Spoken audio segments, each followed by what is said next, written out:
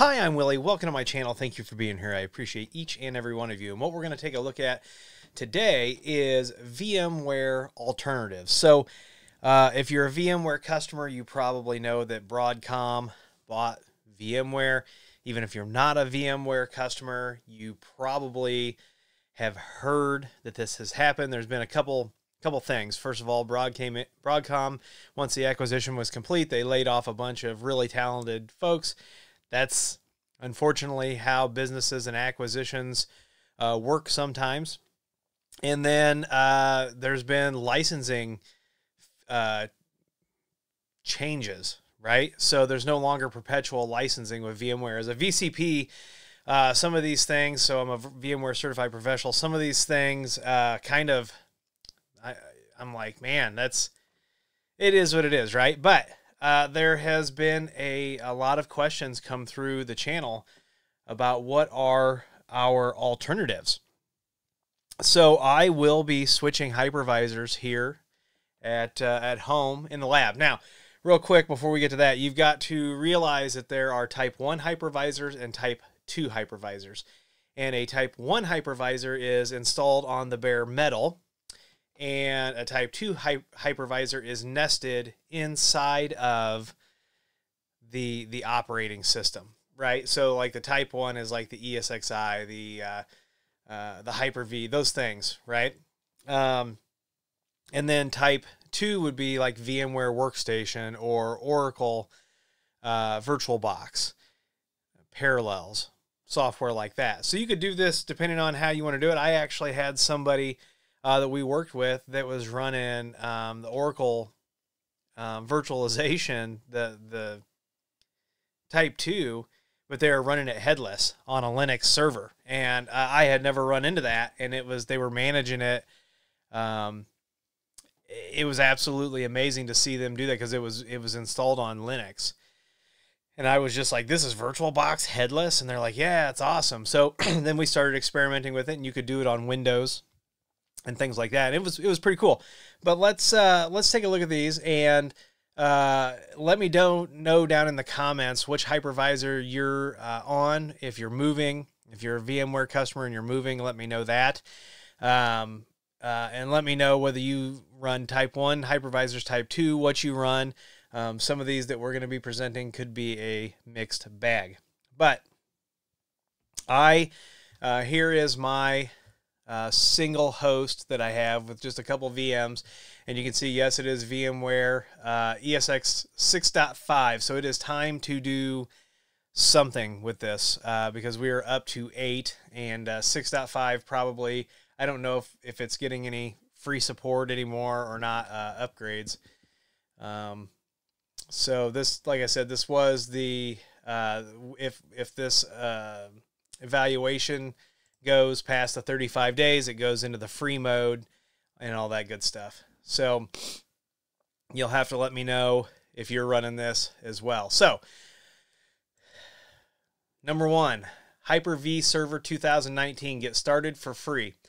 So, you, when you think about Microsoft, you don't often think about free, right? But you can get uh, right here. It says Microsoft Hyper V Server is a free product now, whether you have to buy server licensing, other than that, that's going to be a question you're going to have to talk to your Microsoft rep about. So, uh, we are familiar with Hyper-V. Uh, we have a few customers with Hyper-V, and we we do uh, support that. I thought about installing this and seeing how I get along with it on a day to day. I the networking for me on Hyper-V, uh, it's a it's a little clunky. Like if you came from ESX, um, the networking on Hyper-V for me, that's where it's it's a little clunky. But let me know if you're running Hyper-V. The next thing I've thought about doing is just running KVM on a straight up Ubuntu machine. Now, there's going to be some arguments, I'm sure, that people think that KVM is a Type 2 hypervisor when it is actually a Type 1 hypervisor. It's built into the Linux kernel. So what I'm thinking about doing possibly is just doing an Ubuntu machine and uh, managing this with Cockpit. So uh, there's actually also, I think, a virtualmin or a webmin uh, module to manage this. So I thought about doing that as well. This may be the route that I go. If any of you are just doing straight up Ubuntu with KVM, let me know down in the comments how you're managing it and how you like. Uh, Proxmox, we are very, very familiar with, have several customers running this. I've looked at running this uh, at scale.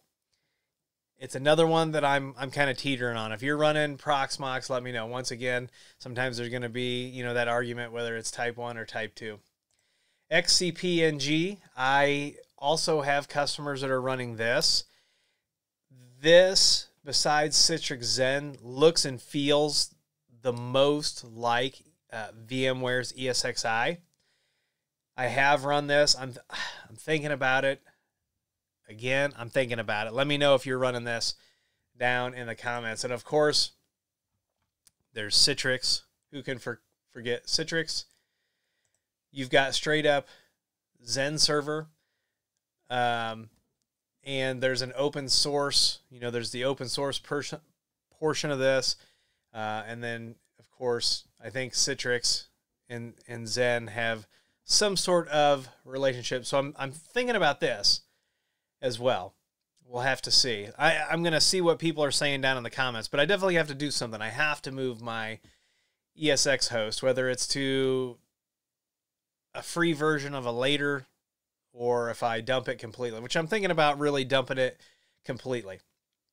And then the last solution that I wanted to look at was Harvester, which is from SUSE, and it's definitely an an interesting piece of software. It's a according to them, Harvester is a modern hyper-converged infrastructure solution, solution blah, blah, blah, built for bare metal servers using enterprise grade open source technologies, including Kubernetes, KubeVirt, and Longhorn.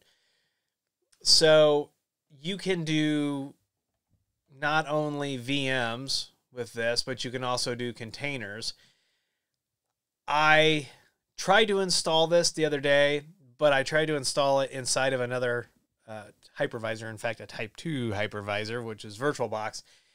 The installation did not go as well as I wanted. So I think that I do need to just deploy it on straight up hardware and see what happens. If anybody's running this, let me know. These are kind of my choices. If there are other choices, other selections you think I should be looking at, as you can tell from this conversation, I'm definitely leaning in a in a couple directions. But I have to do it because I've got a few servers that I need to get set up and going, and I don't want to get everything in my ESXi 6.5 because that is going away one way or another. So let me know down in the comments if I missed anything. And if you like this video, please give me a thumbs up. Let me know what you think about the VMware acquisition. Let me know what you're running for hypervisors. Let me know if you prefer type 1 or type 2 down in the comments. And uh, if you like this video, give it a thumbs up. Please subscribe. Please comment, share. Please follow me on Twitter and TikTok. Those links are down below, along with affiliate links if you'd like to support the channel and a Patreon link. And as always, if you need IT consulting, if you have hypervisors you need help with, if you're going to migrate away from VMware and you need help, reach out at williehowe.com. There's a contact form right there on the front page. We'll help you out. And of course, uh, we can help you with a plethora of other IT stuff. And if we can't help you, we'll get you to someone who can. That's our promise to you. Once again, I'm Willie. The saga with VMware goes on. And as always, I'll see you in the next video.